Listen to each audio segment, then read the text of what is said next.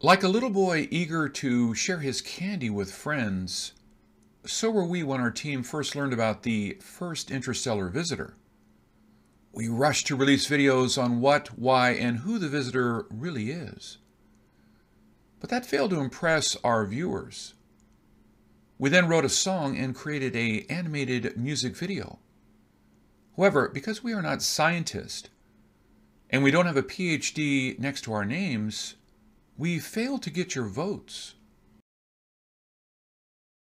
I just read another CNN article, and I have to say, I told you so. It is a follow up article under Space and Science about astronomers have never seen anything like this before. It has many fascinating details about the interstellar visitor A2017 U1, and it now has a fancy name called Oumuamua, which means a messenger that reaches out from the distant past. As you can see from this artist's creation, it is a long, rocky, cigar-shaped object with a burnt dark reddish hue. Scientists said the red was a result of cosmic rays. but I think it is the Christmas color they picked for their spaceship. Scientists said it has a high metal content and spins on its own axis every 7.3 hours. I don't like to argue with scientists as they must be really smart from reading and studying so many books. But I often have problems with their interpretations. For example, they may assume we are not as smart because we are not PhDs, but maybe we are really smart to choose a fun life and leave the boring reading to them. Let's take a look at what they've learned and try to paint a practical picture of A2017U1, aka Oumuamua. After compiling images from countless telescopes, scientists realized that this is a cigar-shaped object. Its length is 10 times its width, and it spins on its axis every 7.3 hours. Before finding this object, the most elongated object found was three times longer than its width.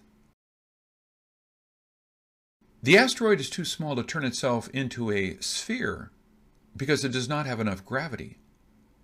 But it rotates so quickly and travels such long distances, it is hard to imagine how it maintains its slender figure. Maybe it was made this way. Because as I said before, it is a spaceship. And why does it spin like that? If it is indeed a spaceship, maybe that is how they create the so-called artificial gravity. Astronaut are astronautufo. I mean the UFO in space would lose their bones and muscles during a long spaceflight.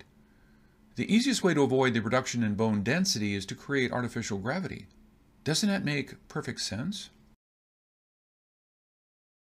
And why is it cigar-shaped? Because that's how spaceships look. Look at the animation video we did. We don't need to be a scientist to draw a spaceship like that.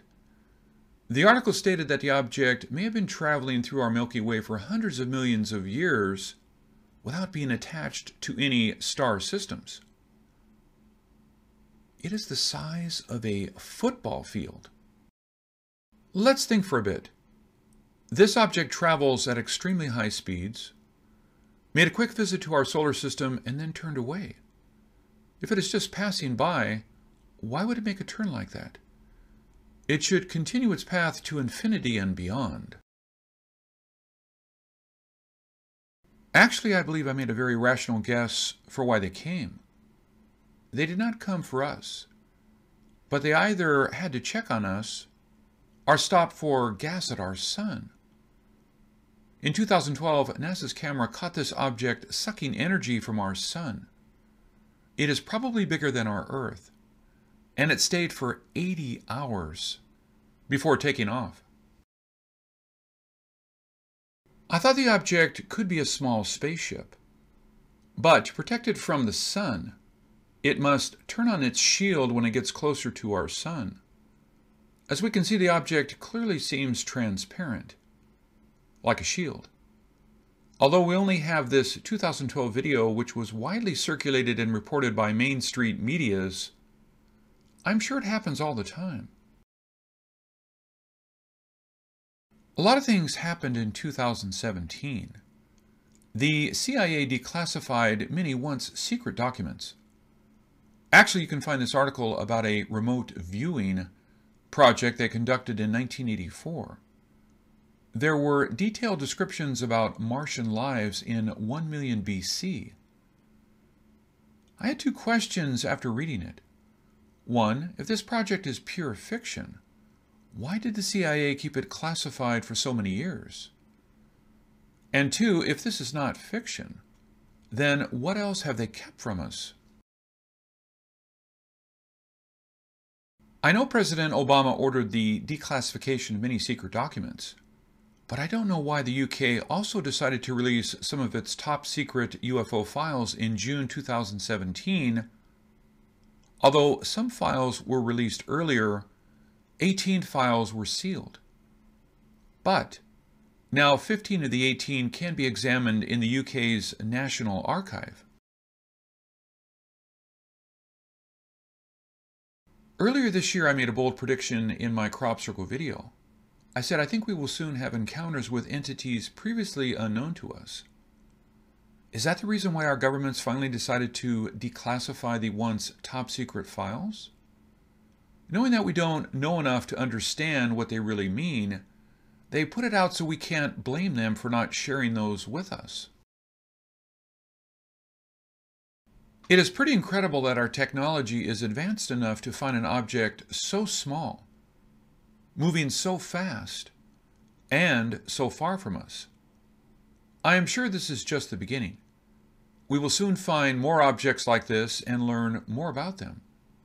However, until we face the fact and open our minds, the scientists may just have to turn their blind eyes on and keep on calling spaceships cigar-shaped rocks. This is Ken Peters. Thank you for watching.